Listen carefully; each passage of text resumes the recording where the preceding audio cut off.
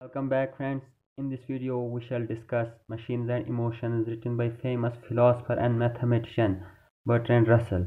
तो इस ऐसे में बर्ट्रैंड रसल क्या कहना चाहता है कि जब मशीन वजूद में आई इससे पहले क्या था कि वेस्टर्न जो दुनिया था उन्होंने क्या किया उन्होंने बहुत ही तरक्की की और उन्होंने मशीन तैयार की तो मशीन से क्या हुआ कि लोगों से जो काम था वो बिल्कुल आसान हुआ लेकिन इसमें थोड़ी सी दिक्कत आई मशीन की वजह से। वो थे पॉइंट लोग, जो इमेजनरी पीपल थे और एस्थेटिक्स मतलब ब्यूटी को तारीफ़ करने वाले। लेकिन अब इसमें ये सवाल पैदा होता है कि क्या जो ये मशीन है, उससे हमें ज़्यादा पैसा मिला, ज़्यादा चीज़ें हमने तैयार की?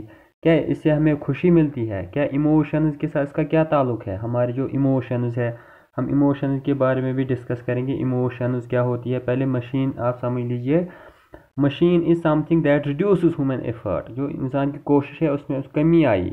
In other words, machine do our work better and fast तो हमारी काम जल्दी करती है।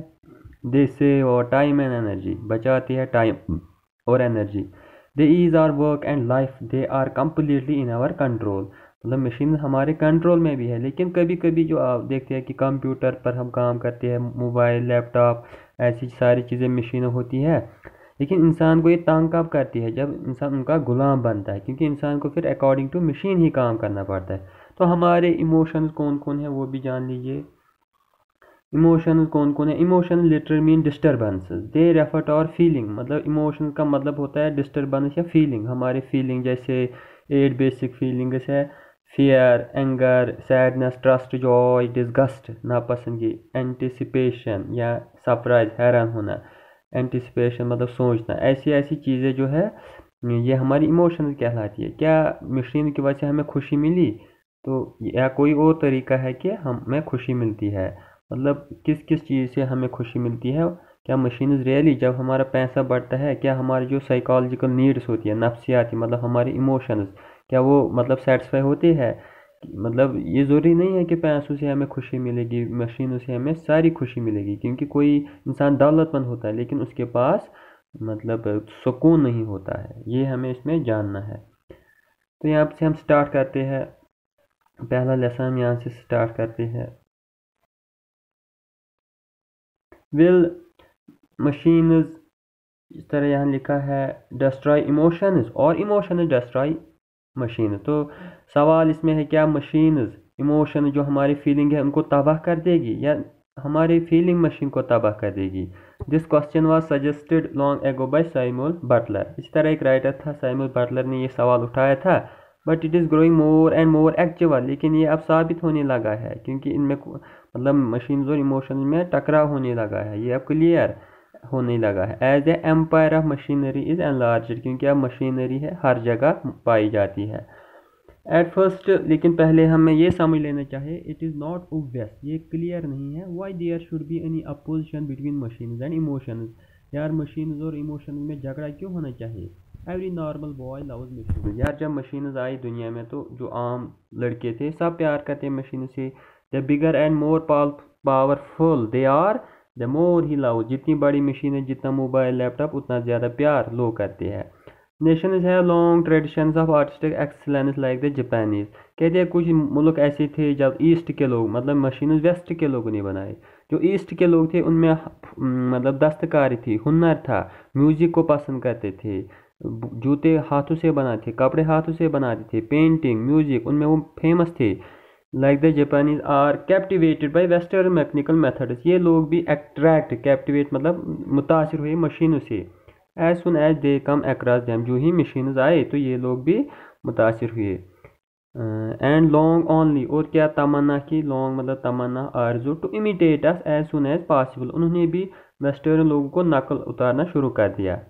Nothing annoys an educated and travelled Asiatic so much as to hear praise of wisdom of the east जो कोई एजुकेटेड होता है या ट्रैवलर, जब वो कहते हैं कि यार, ईस्ट के लोग, वो दाना है, उनकी दानाई विजडम लेकिन ऐसे ट्रैवलर जो या एजुकेटेड लोग परेशान होते हैं, यार, ईस्ट के लोगों ने कुछ बनाया है नहीं, उनकी दानाई कहाँ है? और the tradition values of Asiatic civilization या उनके वैल्यूज़ उसूल बहुत बड़ी है, बहुत बड़ी है। तो इससे वो परेशान होती है, यार, ईस्ट में इतना क्या है? He feels as a boy would feel who was told to play with doll instead of toy automobiles कहते हैं he feels as a boy would feel who was told to play with the dolls instead of toy automobiles मतलब वो क्या feel करेगा?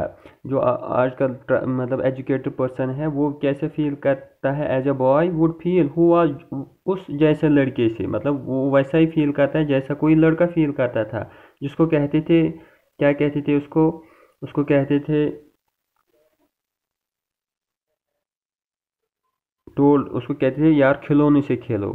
Instead इसके बजाय कि toy मतलब खिलौने की गाड़ी से मत खेलो, बल्कि आम डॉल से खेलो। And like a boy he would prefer a real automobile लेकिन जो लड़की है, वो तो सच्ची ऑटोमोबाइल को पसंद करती है टू ए टॉय ना कि खिलौने को। One. Not realizing that it may run over him और ये भी एहसास नहीं होता यार, अगर मैं गाड़ी को पसंद करूँ, ये कभी उसके ऊपर भी जा सकती है। मतलब मशीन जब आई तो लोगों ने इसे बहुत मोहब्बत करना शुरू कर दिया। ना कि खिलौनों से। उनको पसंद आई गाड़ी गाड़ी में बैठना, चलना। In the west when the machinery was new there was the same delight in it जब वेस्ट में भी अमेरिका या बाकी ममालिक, जहाँ इंडस्ट्रियल रेवोल्यूशन था फैक्ट्री बनी तो वो भी मतलब खुश हुए थे मशीनों से। एक्सेप्ट लेकिन बगैर on the part of few poets and aesthetic, जो ब्यूटी, नेचर को तारीफ़ करती है, या पॉइट्स ये थोड़ा परेशान हुई थी। The nineteen century considered its superior to it is predecessors जो नाइनटीन सेंचुरी के लोग थे, वो अपने आप को बरतर समझते थे, अपने मतलब पुराने लोगों से, क्योंकि पुराने लोगों के पास ऐसी मशीनें, गाड़ी नहीं थी। Chiefly because of it is mechanical progress तो क्यों मतलब आज के लोग अपने आप को बेहतर समझते हैं? क्योंकि आज के लोगों के पास मशीन है।